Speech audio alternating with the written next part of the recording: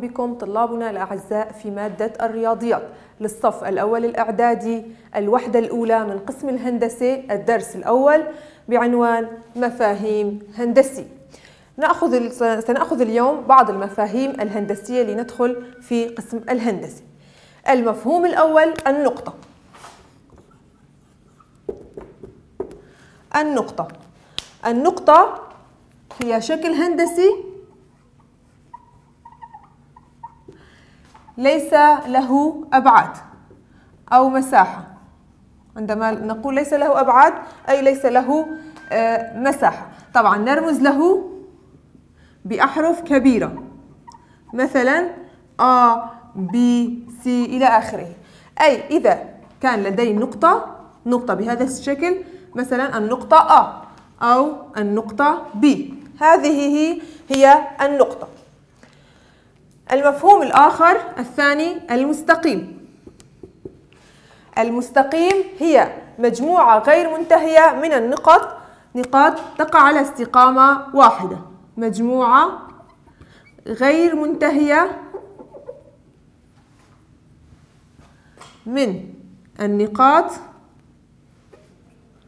تقع على استقامة واحدة. طبعا نرمز لها بدي مثلا أو بنقطتين منه مثلا A B. بهذا الشكل.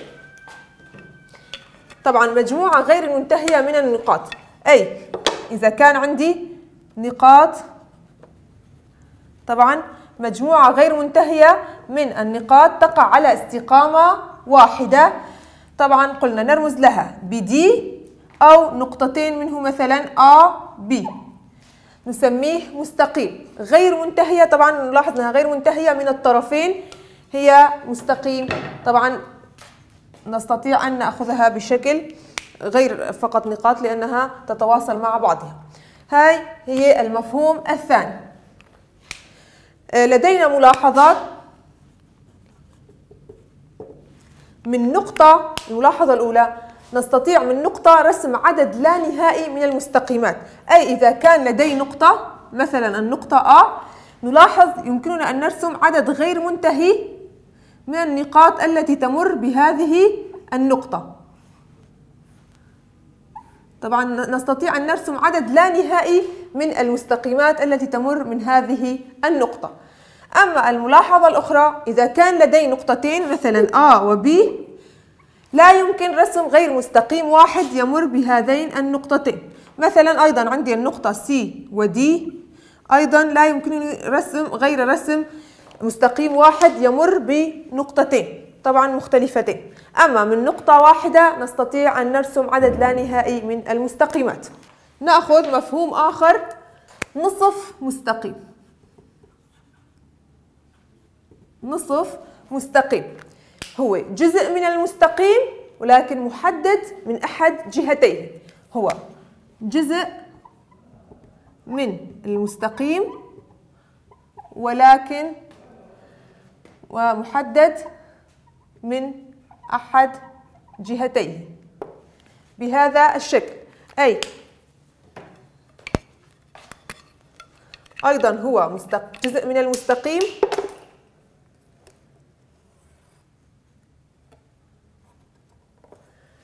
ولكن محدد من أحد الجهات. مثلا هذا هو المستقيم غير محدد من هذا الطرف ولكن محدد من طرف واحد فقط.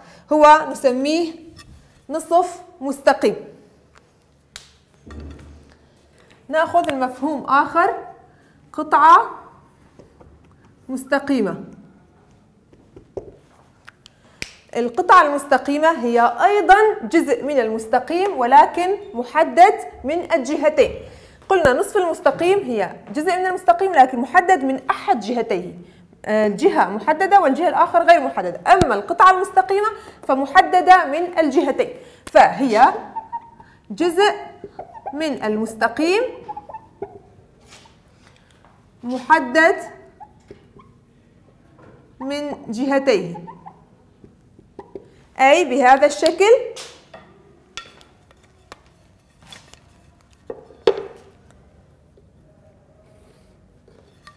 محدد من هذه الجهة بنقطة ومن الجهة الأخرى أيضا محددة. فنقول إنها قطعة مستقيمة. نلاحظ المستقيم غير محدد من الجهتين هي مجموعة غير منتهية من النقاط تقع على استقامة واحدة. أما نصف المستقيم فهي جزء من المستقيم محدد بجهة أما القطعة المستقيمة فهي محددة من الجهتين الشعاع الشعاع هي قطعة مستقيمة موجهة.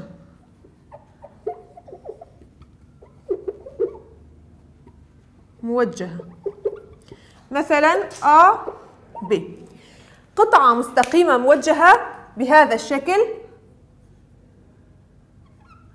A B هي قطعة مستقيمة كما قلنا جزء من مستقيم محدد بالجهتين ولكن موجه له اتجاه محدد من A إلى B كما هذا الشكل. مثلا من C إلى D بهذا الاتجاه. له جهة محددة فنقول عنه شعاع. أما في القطعة المستقيمة A B B A نفس الاتجاه نفس ال آه، هي قطعة مستقيمة. أما عندما نقول من اتجاه محدد A إلى B ف آه، نسميها شعاع. لدينا ملاحظة طبعا المستوي. نذكر دائما كلمة المستوي. المستوي هي تتمثل بمثلا سطح ورقة. الورقة هي آه، نستطيع أن نسميها مستوي. السبورة مستوي السبورة. نلاحظ سطح السبورة هي مستوي. سطح طاولة هي مستوي. سطح زجاج مستوي. فهذه آه، الأشكال نسميها كما قلنا المستوي. ناخذ مفهوم آخر الزاوية. الزاوية. الزاوية هي جزء من المستوي.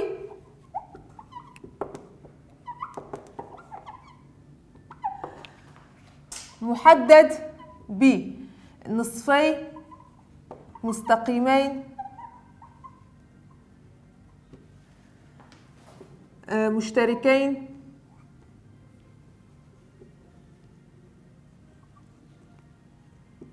بنقطة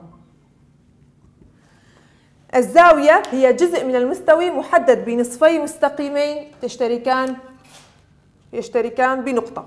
أي إذا كان عندي هذا نصف المستقيم وهذا نصف المستقيم مثلا نلاحظ بأنهما نصفي مستقيمين يشتركان بنقطة. فالجزء من المستوي المحدد بنصفين هذه طبعا نسميها الزاوية. الجزء من المستوي المحدد بنصفي مستقيمين اللذان يشتركان بنقطة نسميها الزاوية. طبعا هذه نسميها الزاوية. هذه هي الزاوية. طبعا لكل زاوية هناك رأس للزاوية. طبعا إذا آه، آه، رمزنا لها بهذه النقاط قلنا كل نقطة كل نقطة نرمز لها بحرف كبير. فهذه الزاوية هذه النقطة التي تشتركان بها هذان المستقيم نصفي المستقيمين سميناها A فرأس الزاوية لكل زاوية رأس الزاوية. فالآ هي رأس الزاوية. ولدينا ضلعا الزاوية. AC هو ضلع وAB أيضا ضلع.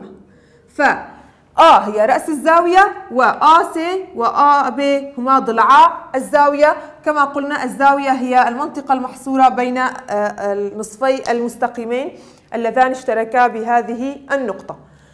طبعا هاي بالنسبة للزاوية. كيف نرمز للزاوية؟ نرمز لها بشكلين. أولا نرمز لها بحرف واحد. حرف واحد مثلا الزاوية هون طبعا نرمز لها برأس الزاوية هي آ. فنكتب آ بحرف واحد آ وعليها هذه الإشارة. هذا نقصد منه بالزاوية آ بهذه الزاوية. أو نستطيع أن نرمز لها بطريقة أخرى بهذا الشكل. طبعا رمزناها بحرف واحد. نستطيع أن نرمز لها بثلاثة أحرف. B A C. أيضا نضع عليها هذه الإشارة أي نقصد منها الزاوية. فلاحظنا آه، رمزنا لها بثلاثة أحرف ولكن الحرف المطلوب الزاوية رأس الزاوية المطلوبة نكتبها في المنتصف دائما.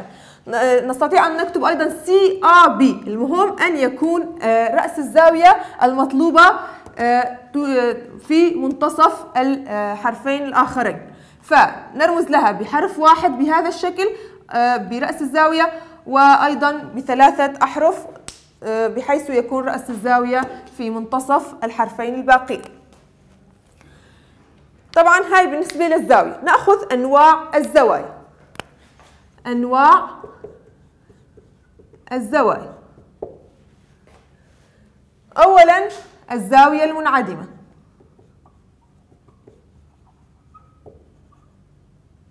الزاوية المنعدمة. عندما ينطبق آه، ضلعاء الزاوية فنقول عنها زاوية منعدمة. أي إذا عندي بهذا الشكل مثلا زاوية بهذا الشكل زاوية بهذا الشكل زاوية ولكن عندما ينطبق الضلعان لم تبقى الزاوية صفر. فنقول عنها الزاوية المنعدمة. الزاوية المنعدمة يكون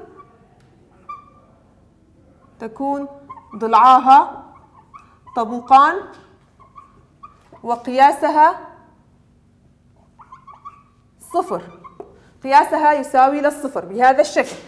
لدي الضلعان طبقان القياس صفر. هذه نسميها الزاوية المنعدمة اثنين الزاوية الحادة. الزاوية الحادة. الزاوية الحادة قياسها أكبر من الصفر وأصغر من 90 درجة. أي. طبعا قلنا إذا قياسها صفر تكون منعدمة لكن عندما تكون أكبر من الصفر واحد اثنين ثلاثة إلى أقل من 90 أصغر من 90 نسميها زاوية حادة. طبعا آه هذه الأداة الهندسية نسميها المنقلة نستخدمها لقياس الزوايا.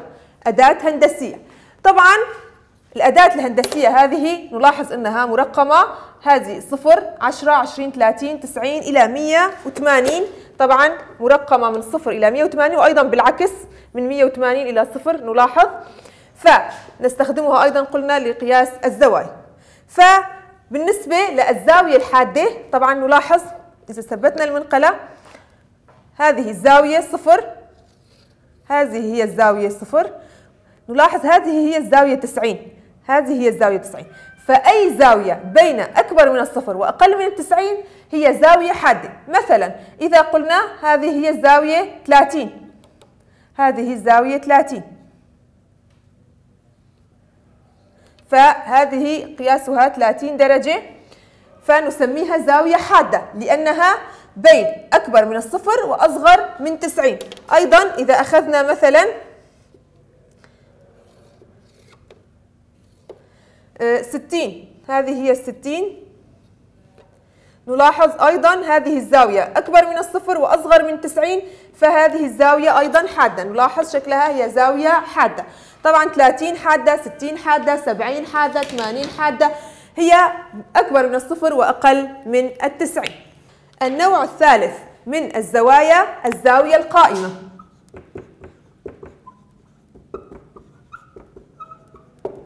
الزاوية القائمة هي الزاوية التي قياسها يساوي 90 درجة.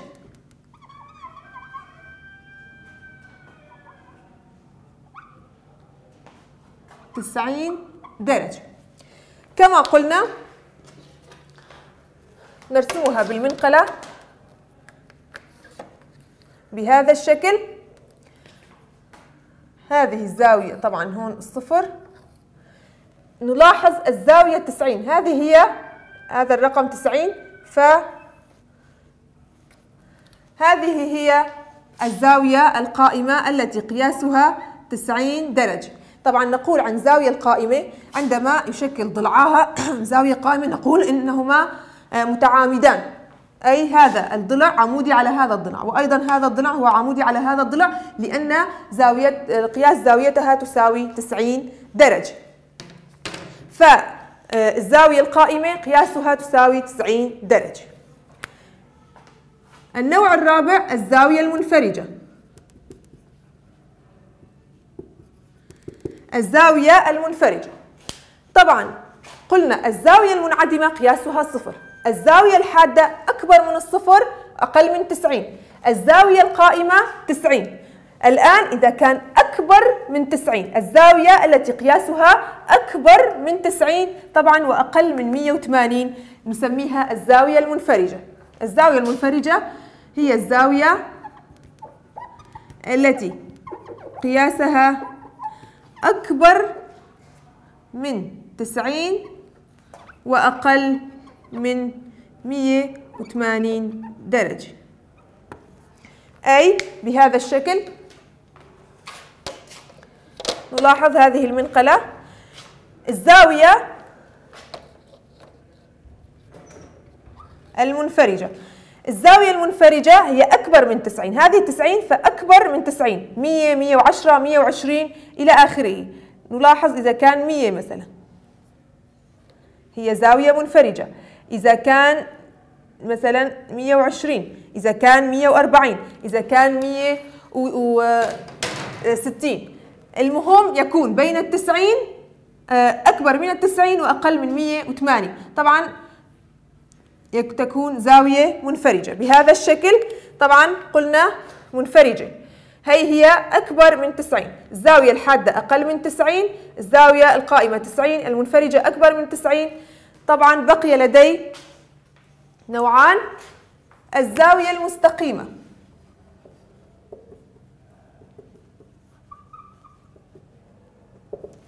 الزاوية المستقيمة قياسها 180 درجة.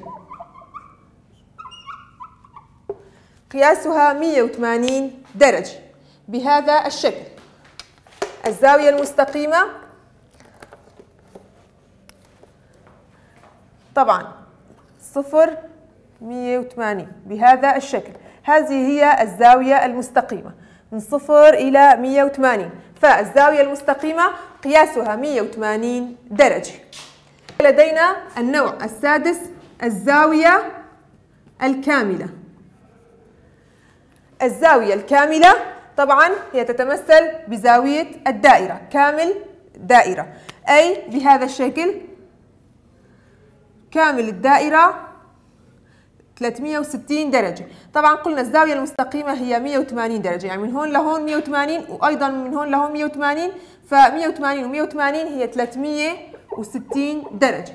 فأخذنا ست أنواع للزوايا الزاوية المنعدمة الزاوية الحادة الزاوية القائمة المنفرجة المستقيمة والزاوية الكاملة. لدينا ملاحظة أنه لكل زاوية هناك زاوية منعكسة. لكل زاوية هناك زاوية منعكسة. مثلا إذا كان عندي هذه الزاوية هذه الزاوية المنفرجة ف فلكل زاوية زاوية منعكسة. هذه هي زاويتها المنعكسة. هذه هي الزاوية مثلا إذا كان لدي هذه الزاوية الحادة أيضا فزاويتها المنعكسة هي هذه الزاوية. كل زاوية لكل زاوية هناك زاوية منعكسة. لنأخذ الآن العلاقات بين الزوايا.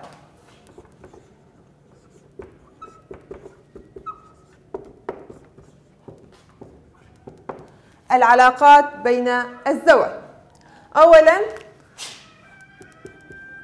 الزاويتان المتجاورتان.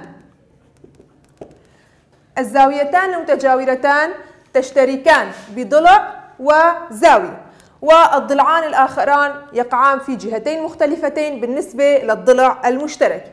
الزاويتان المتجاورتان تشتركان بضلع وزاوية. والضلعان الآخران يقعان في جهتين مختلفتين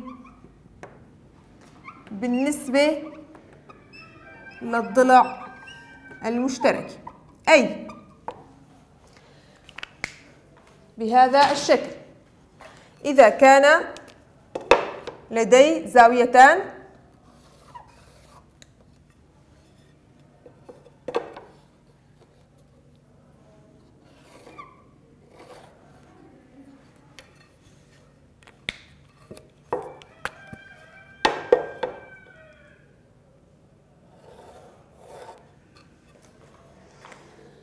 إذا كان لدي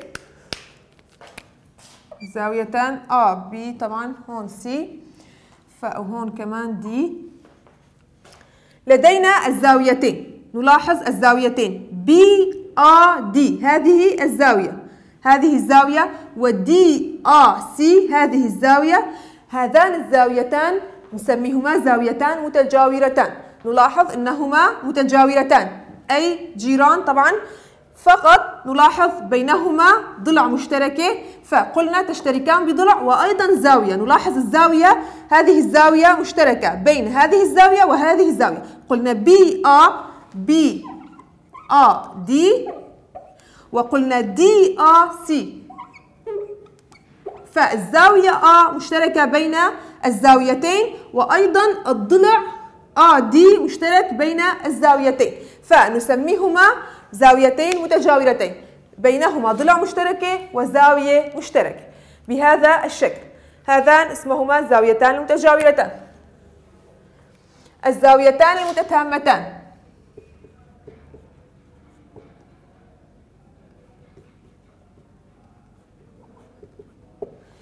الزاويتان المتتامتان هما الزاويتان اللذان مجموعهما 90 درجة. يكون مجموعهما يساوي مجموع قياسهما يساوي 90 درجة. أي إذا كان لدي مثلا الزاوية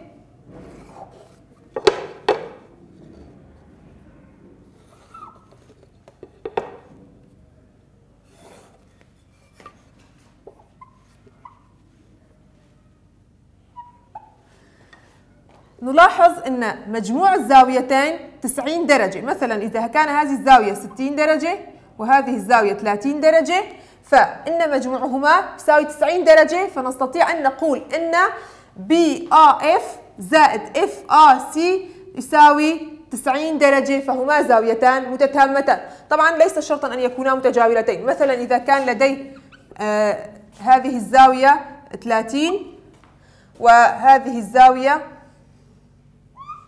ستين. فأيضا نقول إنهما متتامتان لأن مجموعهما 90 درجة. طبعا مثلا 45 و45 أيضا متتامتان. مثلا إذا قلنا نوجد إذا طلب منا إيجاد متممات للزوايا مثلا إيجاد متمم للزاوية 70 كيف نوجد متمم للزاوية 70 عندما نقول متمم أي يجب أن يكون مجموعه 90 درجة. مجموع هذه الزاوية والزاوية المتممة لها 90 درجة.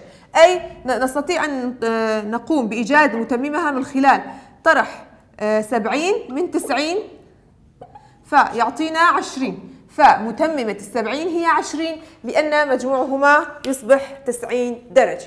الزاويتان المتكاملتان.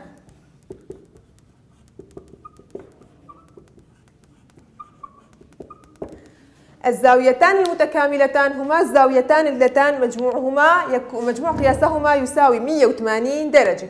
مجموع قياس قياسهما يساوي 180 درجة. مثلا الزاوية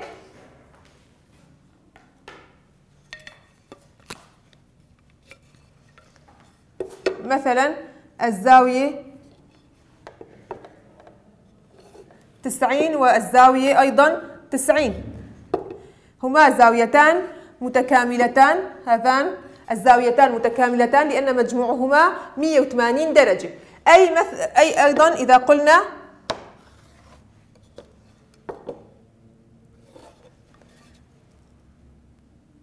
إذا قلنا هذه الزاوية 60 هذه الزاوية طبعا 120 هذان الزاويتان مجموعهما يساوي 180 درجة فنقول إنهما زاويتان متكاملتان.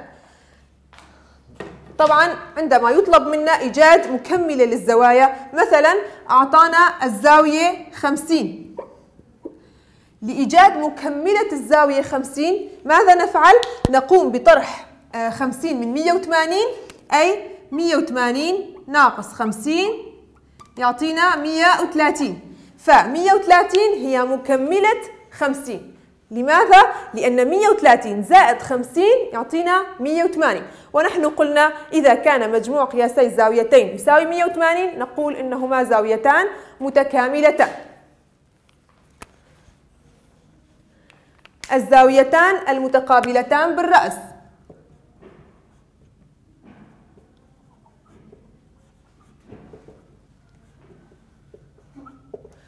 الزاويتان المتقابلتان بالرأس.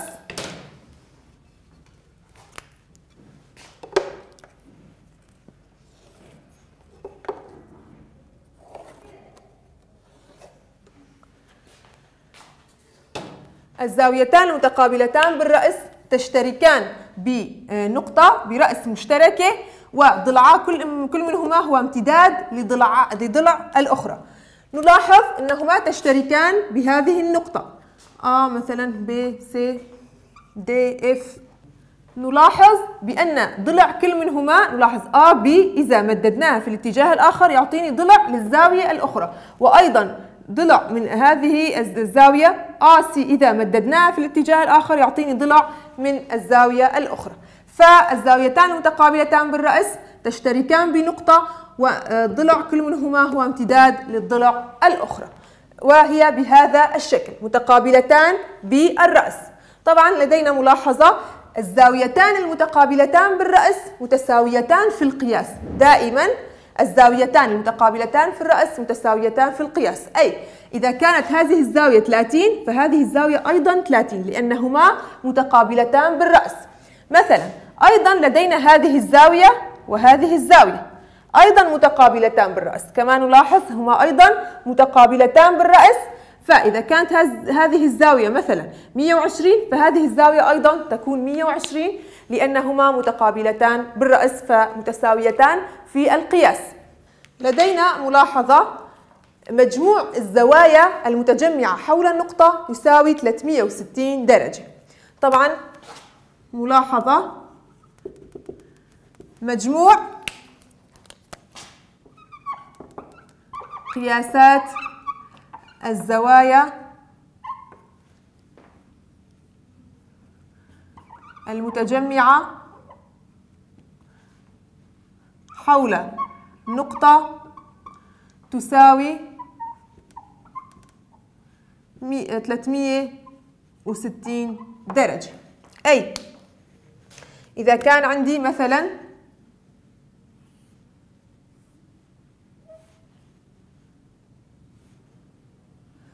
مثلا هذه الزوايا إذا كان لدي هذه الزوايا نلاحظ مجموع هذه الزوايا ستكون 360 درجة. أخذنا الزاوية الكاملة عندما كانت تشكل لدينا دائرة كاملة فكان مجموعها 360 درجة كان قياسها 360 درجة. فمجموع الزوايا المتجمعة حول النقطة أيضا يكون قياسها 360 درجة. مجموع هذه الزاوية مع هذه الزاوية مع هذه الزاوية مع هذه الزاوية يعطينا 360 درجة. بقي لدينا منصف الزاوية. منصف الزاوية. منصف الزاوية هو نصف المستقيم الذي يقسم الزاوية إلى قسمين متساويين. هو نصف المستقيم الذي يقسم الزاوية إلى قسمين متساويين. أي إذا كان لدي الزاوية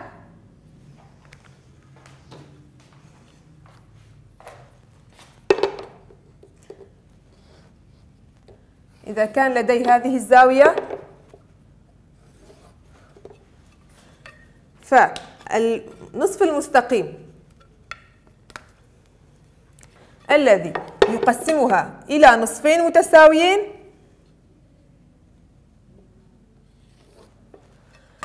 نصف المستقيم الذي يقسمها إلى نصفين متساويين نسميها منصف الزاوية. مثلا إذا كانت هذه الزاوية الكاملة 60 فيكون كل منهما 30 درجة لأنها طبعا هذا هو منصف الزاوية. عندما نقول منصف زاوية فيقسم الزاوية إلى قسمين متساوية طبعا هاي كان بالنسبة لدرسنا مفاهيم الهندسية آه، وبعض العلاقات بين الزوايا ومن المنصف للزاوية. وشكرا لكم.